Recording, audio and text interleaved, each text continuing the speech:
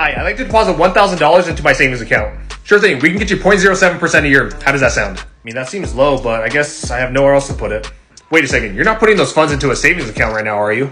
Yeah, isn't that what everyone does? You do know you can make a 10% return with Fundrise and it's completely passive. 10%? What? There's gotta be a catch. Nope, your investment's backed by real estate and Fundrise investors have earned more than $100 million in dividends. Let me just show you how it works. Create a free account, choose how much you want to invest, fill out a quick questionnaire, and they'll match you up with a series of investments. Best part is, Fundrise will find and add new additional assets to your portfolio at no additional cost. Not cool, man.